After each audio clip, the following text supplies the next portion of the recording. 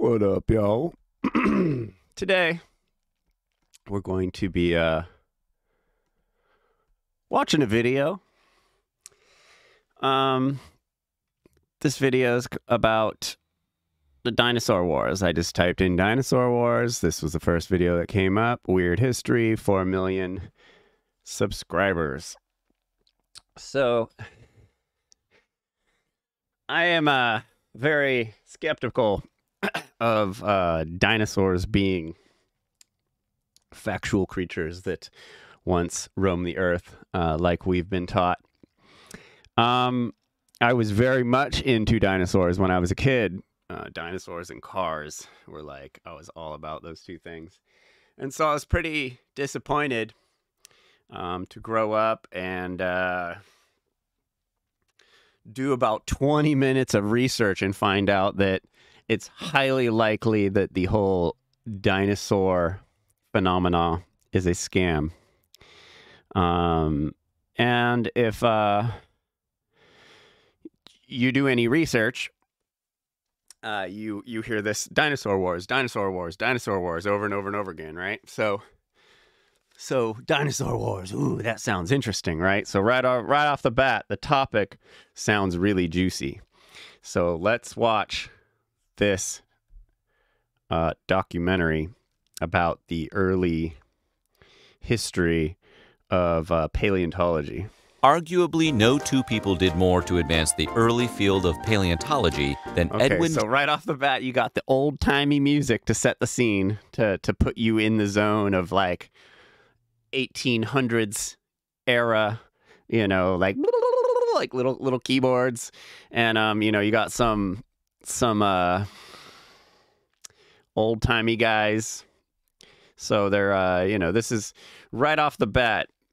Um, you have to be uh, a bit skeptical of any story that starts, you know, in the 1800s because the longer away time was, the more time there was for uh, deception.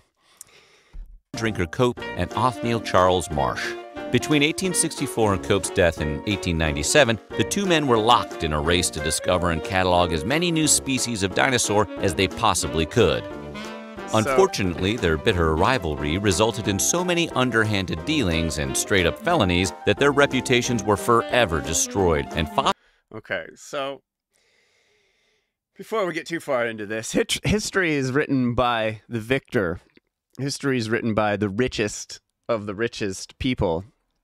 So, um, right off the bat with this, um, they're they're painting a story of these two. Okay, so the best way to sell a lie is by making it embarrassed in some embarrassing in some way. Like if you tell someone a story that you've made up and you add a part in it that's really embarrassing, there there's a lot higher chance that that person's going to believe what you're saying. And you'll find this um, throughout all kinds of uh, propaganda. This this type of thing being used. Um, you know, the, the slavery. Um, you know, the killing off the natives. You know, like whenever you have whenever you have someone of authority admitting to doing something wrong, you always have to be skeptical. Fossil hunting carried a dark stain for decades afterward. Today, we're talking about the strange feud that So, the story so far is that the history's muddled because these dudes, you know, got too caught up with their egos and, um, you know, went crazy finding uh, fossils, right? So, without this story, without the story of the dinosaur wars, you have no historical story for dinosaurs becoming uh, such a mainstream popular thing in our culture. This is the only story uh, you can point at, and um, and so without this story, we have no story about the dinosaurs. We don't know anything about dinosaurs. There's no Jurassic Park, anything like this. So this story is pretty important. So looking at it critically is pretty important. Um, so right off the bat, they're saying that these two psychos basically were locked in a battle, trying to outdo each other, and the the story reads so far is, is reading like a movie. Created and almost destroyed paleontology. Before we get started, make sure you subscribe to the channel below. Now grab your Don't pith helmet and let's get Don't going. Even go watch this video, please. Watch it here. The feud between Cope and Marsh was so intense that the bickering scientists would routinely dynamite their own dig sites to prevent the other Right off the bat with the propaganda. So a lot of a lot of people question the whole dinosaur thing. We're like, why aren't we finding dinosaurs everywhere? And why is it only like official people that are finding dinosaur bones? So right off the bat, you have them trying to reinforce this idea that that many of the dinosaurs uh, bones may have been destroyed when these two guys way back in the day were looking all over the US for dinosaurs. So you have these fall guys, these useful idiots that are are being uh, scapegoated for why we don't have more examples of dinosaurs because when you go to the museum and you see a dinosaur sculpture you're seeing a sculpture those aren't real bones. That's the, that's a sculpture that was made in China. You can go into any museum and ask them and they'll they'll begr- begrudgingly admit that that it's they're plaster cast as casts and stuff like that. None of the bones are actually out for viewing from potentially combing back over the excavation and discovering something. That's a level of pettiness so casually destructive, it's almost admirable. What's wrong with this guy's eyes? Does this not look like a real photo person to you? Like, this doesn't look like a real person to me. This dude's eyes are way too big. There's no telling how many species of dinosaur have gone undiscovered thanks to Cope and Marsh's Oh, there you go. Oh my god. Exactly what I just said. Oh, well, we'd know more about dinosaurs and we'd have more evidence if these two douchebags didn't blow everything up back in the day. Like, this is such a piece of propaganda. It's hilarious. literally explosive rivalry. During the early days of the feud, Cope incorrectly reconstructed an Elasmosaurus skeleton, placing the animal's skull at the tip of its tail and believing he had discovered a new species of snake-like dinosaur. Unable to resist the opportunity to deliver a backboard-shattering dunk on his rival, So, what this story reinforces is the idea that we can't, if we go back and try and research early dinosaur stuff, we're just going to run into a bunch of flub because these two dudes kept tr- were trying to outdo each other publicly and their egos got out of hand and and so they're trying whoever made this is trying to to explain this in a way that it's just like okay well you know we used to think these dinosaurs were real but they don't they aren't because these guys you know and it's like if if paleontology is is science then there should be it shouldn't be that the history is is this you know we should know some scientist's name who you know really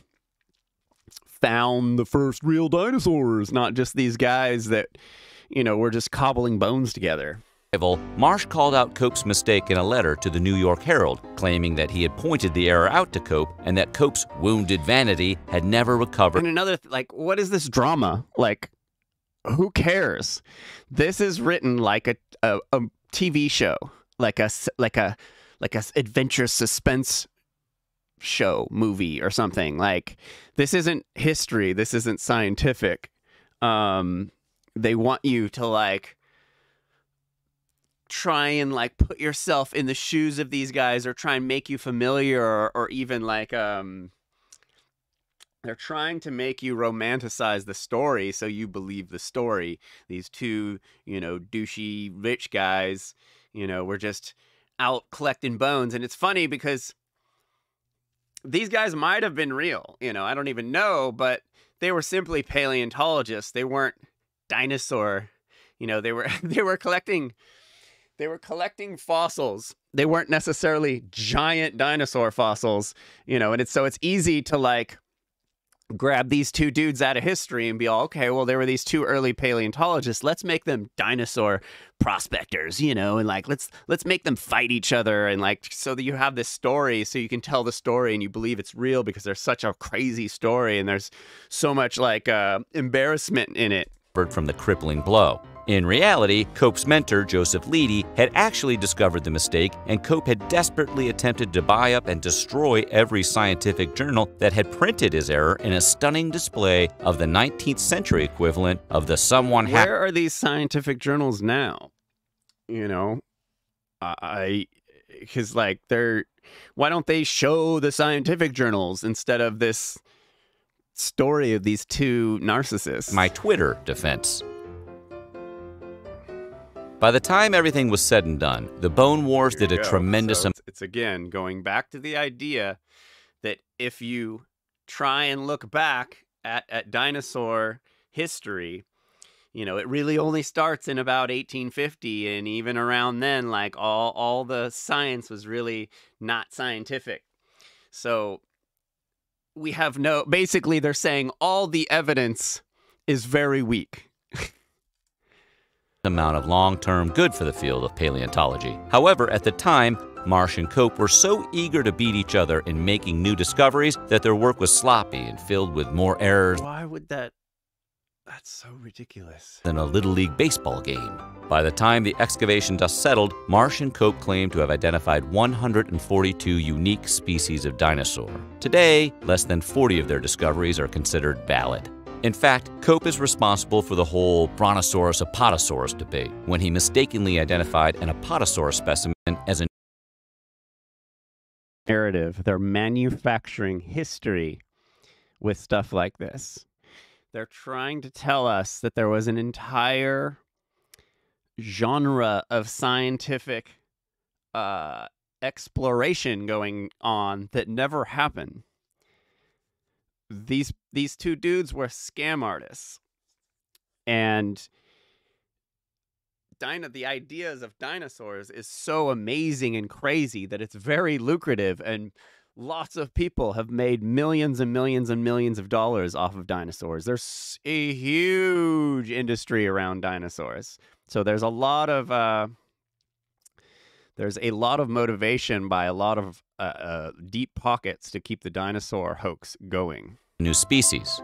Ironically, through no fault of his own, Cope's Brontosaurus snafu was validated in 2015 when researchers determined that there were enough significant differences in Cope's specimen to classify it as a new species.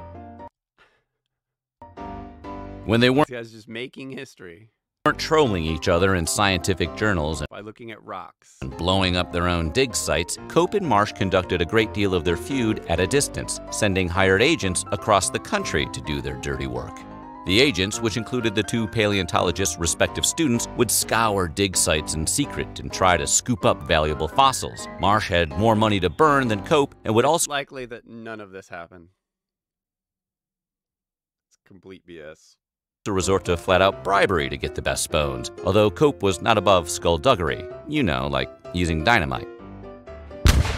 So there wasn't enough if there were bones everywhere, why were they having to fight over specific sites? Like none of this stuff makes sense.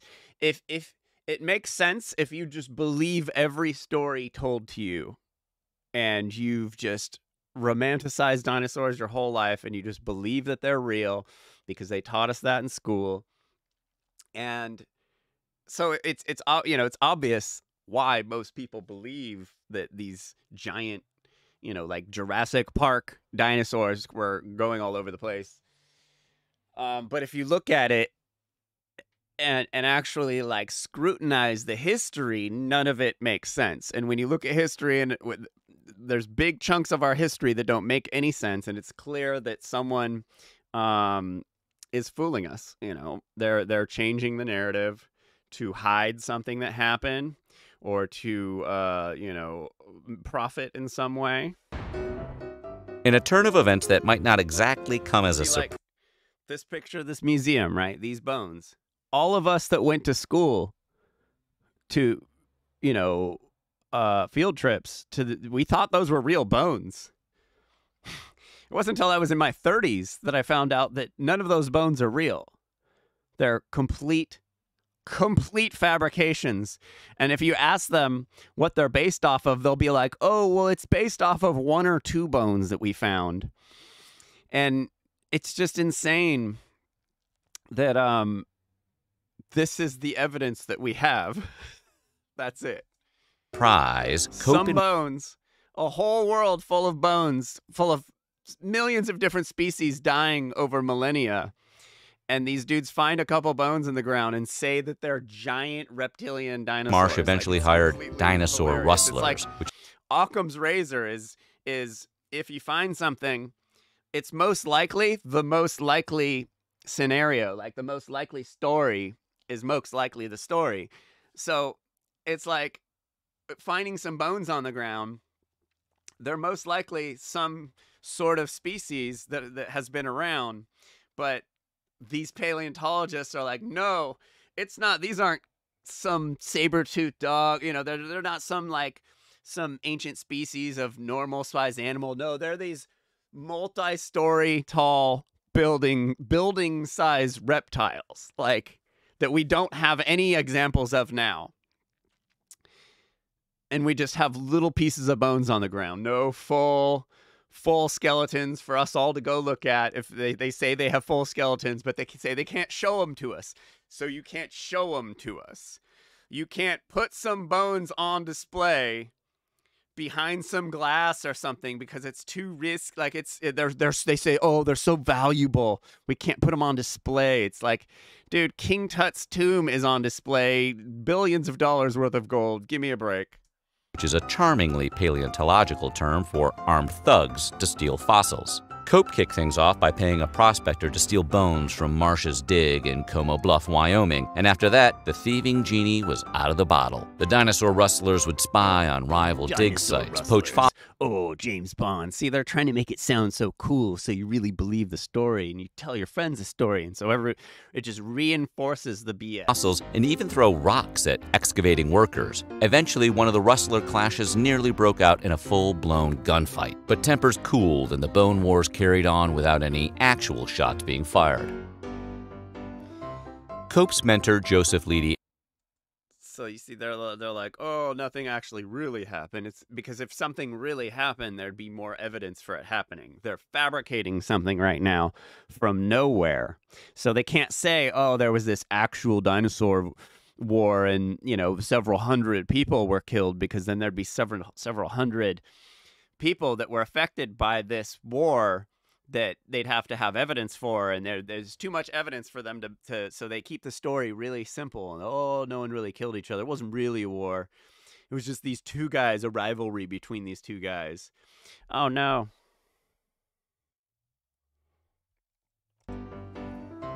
Cope's mentor, Joseph Leidy, actually discovered the first dinosaur in America, the Hadrosaurus, in Haddonfield, New Jersey in 1856. A decade So, later, Cope joined the Philadelphia Academy. this guy found some bones on the ground and was like this is a dinosaur i call it hadrosaurus like how did this guy in 1850 find some bones and just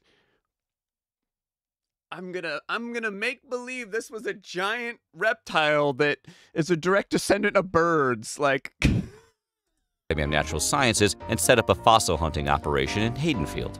Marsh caught wind of this and bribed some of the workers hold to on, send any. So I think Al- Al- Larken Rose once sent me this picture, and he was like, "Can't you see it? It's a dinosaur." And it's like, my daughter could draw a better dinosaur than that uh, on a rock. Like these dudes, they're so obsessed with dinosaurs and space and all this sci-fi fantasy shit that they've completely la- la- let it clog their judgment.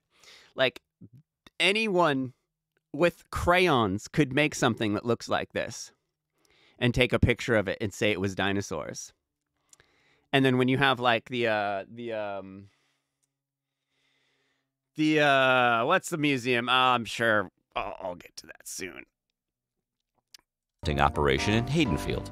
Marsh caught wind of this and bribed some of the workers to send any fossils he discovered to him rather than Cope, presumably while twirling his considerable this facial hair. BS An understandably enraged Cope found out what Marsh was doing, and part two of the Bone Wars had begun.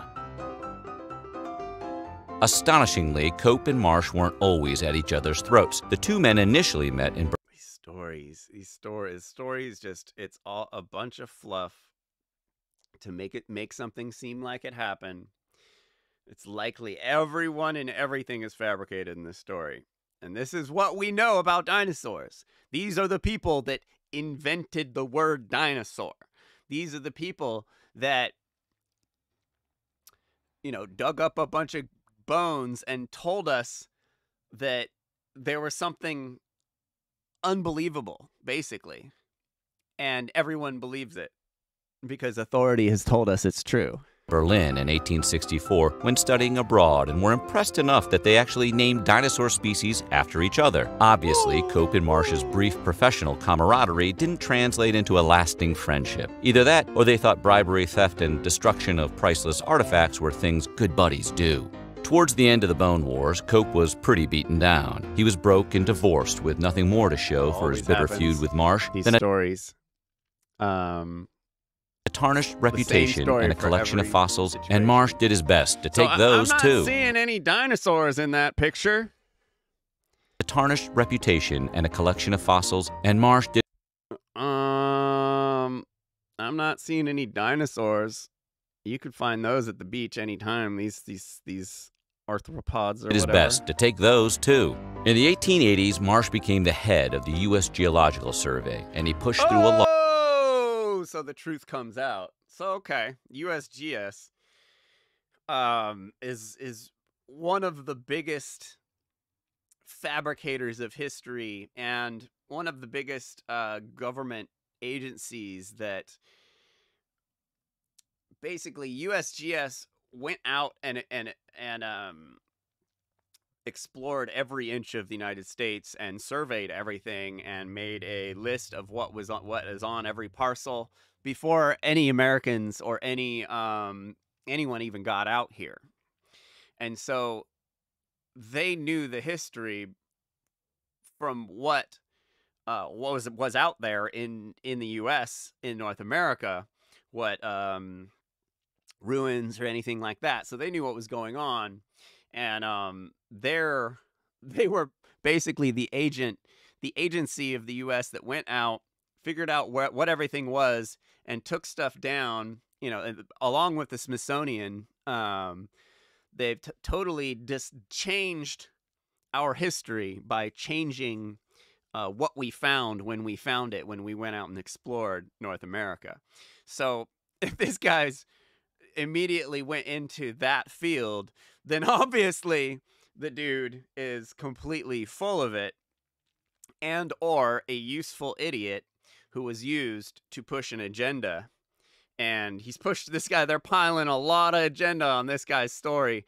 Um if he's USGS and he's the guy that that invented dinosaurs like it's pretty funny. There it's it's almost like the uh the history writers just like they got tired of having to write new stories for everyone so they just like made these guys up and had them invent tons of things law stating that any fossils collected using any kind of governmental survey, and he put those too. In the 1880s, Marsh became the head of the U.S. Geological Survey, and he pushed through a law stating that any fossils collected using any kind of government funding automatically belonged to the Smithsonian Museum.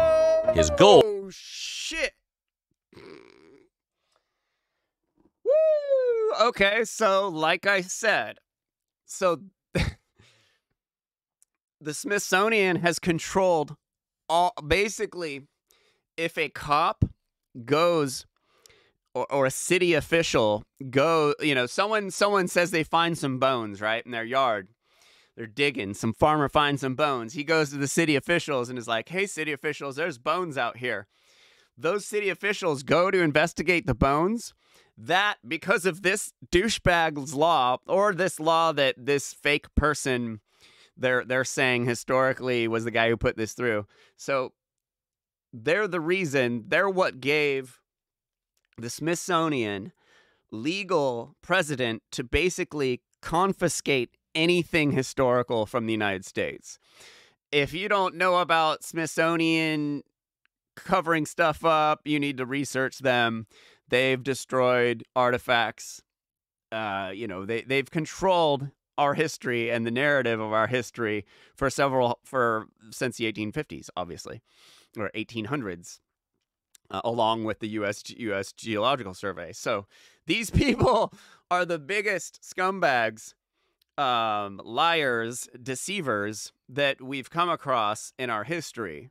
So to just believe everything or anything they say, it's the same thing with NASA. It's like, okay, government lies, authority lies, but believe NASA. You know, like authority lies, we know Smithsonian lies, but believe them about dinosaurs. It's like, really? Like, holy crap goal was to take Cope's fossils, but Cope was an obsessive record keeper, and he had the receipts to prove that he had indeed blown his own such a horseshit story cash to acquire the majority of his specimens. Proof of his fossil ownership weren't the only receipts Cope brought. After nearly having a specimen seized by the Smithsonian thanks to Marsh's chicanery, Cope published a damning record of the many slimy misdeeds and outright felonies Marsh had committed during the Bone Wars, corroborated by many of Marsh's former employees. Marsh was forced to resign from his position as the head of the Geological Survey, and as an added ironic twist of the knife, he was unable to prove ownership of most of his vast fossil collection. So, in accordance with the law he'd championed in an attempt to screw over Cope, the majority of Marsh's fossils were seized by the Smithsonian. Cue sad trombone. Seized by the Smithsonian. And then what does the Smithsonian say? They say, "Oh, our people are looking at it, and and they uh, they'll either make write a report about it or they won't." But there's been thousands of instances where you could, if you look at any old newspapers, you can find stories where they're like, you know, there was this discovery of these ruins or something, and Swissmoni- Smithsonian showed up, knocked down the ruins, took them away, you know, like took everything basically, like, you know, and then and then you never hear from anything again. And the Smithsonian, I think, was caught uh, burning, destroying uh, skeletons that were found that had um, elongated heads and stuff like that. There and the the uh, in California, Catalina Island, there was like dozens of sets of uh, giant bones, like giant six, seven foot tall bones um, that were ancient um, along the islands here in California coast. They found some of the oldest remains, and um, you know, like the we don't know anything. The Smithsonian and uh, has has controlled the narrative for 200 years, and um, we don't know the real story about what happened in the U.S. and the story that they're teaching us in school, um, cowboys and Indians, and um, you know that kind of stuff is just.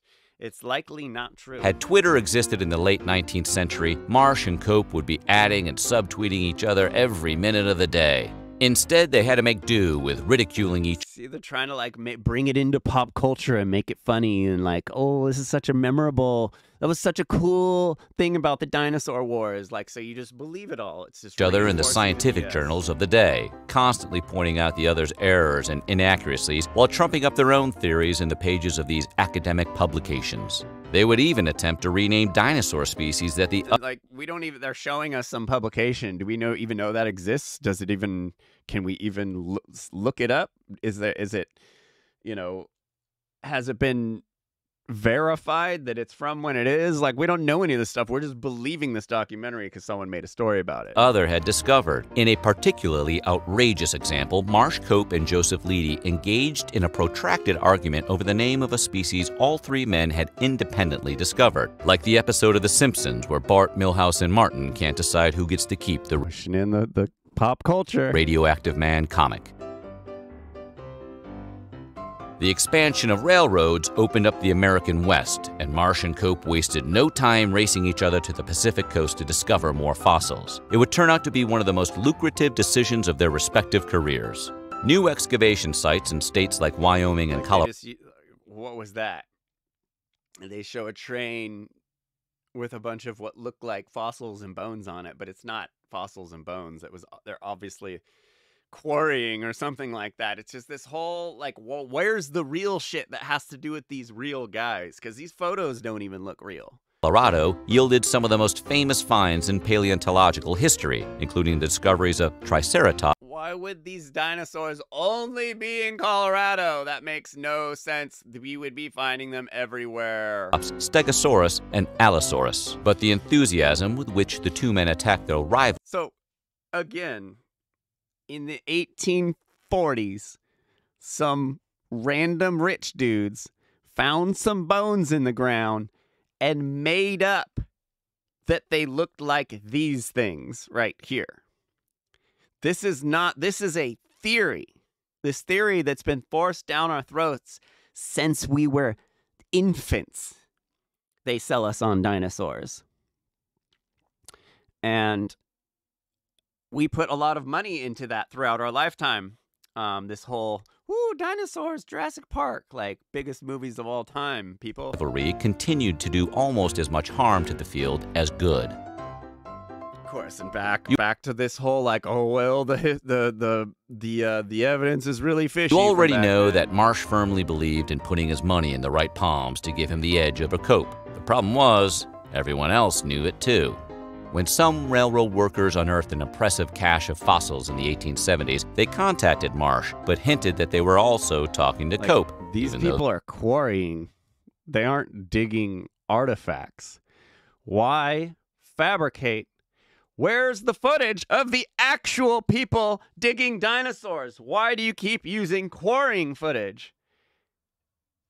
Where is the evidence? They weren't, knowing that Marsh's need to outbid his rival would allow them to ask for some truly ridiculous prices.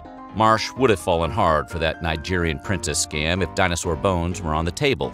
Prince Husband Skrillex Twinkie. Although Marsh eventually became the head of the U.S. Geological Survey, Cope scored an early victory by getting a position with the organization to survey new territory out west. He used this position to document and claim credit for as many species as he possibly could, which angered pretty much all of his peers, including his mentor, Joseph Leidy.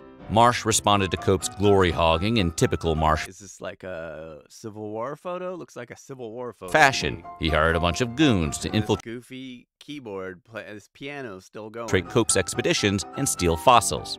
You really have to admire his consistency.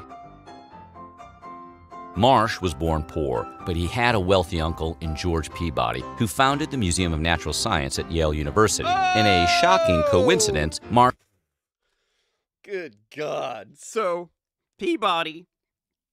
So this is this is almost exactly like the uh, Smithsonian. Like these two dudes are connected to the biggest deceivers we've ever known in history. Yet you believe all their dinosaurs that they invented are real. Marsh received his first academic position at the museum not long Where are the bones? They haven't shown any bones. after it was founded. Marsh's uncle That's funded many of his bone. I could draw with that with a marker, a sharpie. And it, I mean, uh, where's where's the size?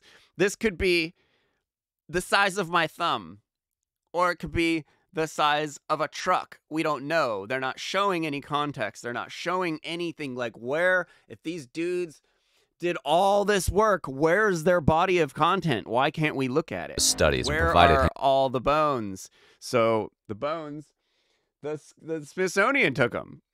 So what why what is the Smithsonian even doing?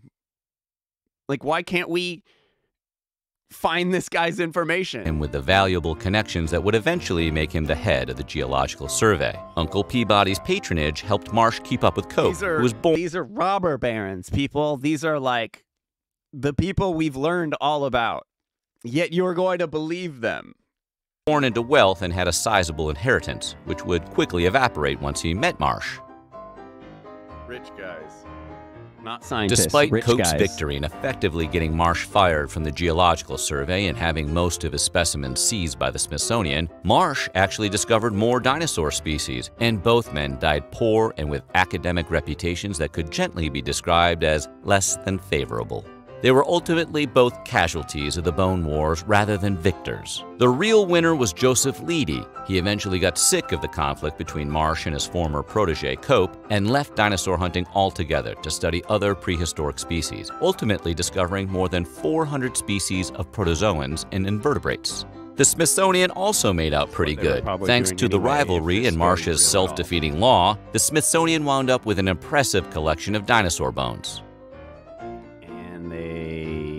Or, Cope- or they didn't. They just ended up with an impressive collection of bones that they probably just got rid of and were like, yeah, those were dinosaurs. All our scientists have checked it out. It's cool. They're dinosaurs. Died in 1897, but he tried one last time to score a spectacular dunk on his hated rival. In his will, Cope stipulated that his brain was to be removed from his body and weighed, and challenged Marsh to do the same upon his death to see whose brain was the heaviest. Cope Stupid story. Like, go way over the top with their rivalry. Like, it just makes it such a cool story. hoped that his own pettiness would be matched by Marsh. But Marsh, showing restraint for perhaps the first time in his life, declined to accept the challenge and took the secret of his brain weight to the grave in 1899. The rivalry between Edward Drinker Cope and Othniel Charles Marsh pushed the field of paleontology forward more than any other period in history, but their reckless and decidedly unscientific behavior gave dinosaur hunting an unsavory reputation that lingered for generations. So who are you, Team Marsh or Team Cope? What about So, Team yeah. Leidy? Let us know in the comments below. And while to- you're at it, subscribe. if we consider ourselves intellectuals and truthers, we have to be prepared to reevaluate everything they taught us in school. These dinosaur obsessors are the same people who are obsessing on uh, space and uh, believing everything that that that NASA tells them. Um, these people are delusional, and a lot of these people consider themselves truthers, which boggles my mind. And anyway, until next time, Uncle Shady out. Peace.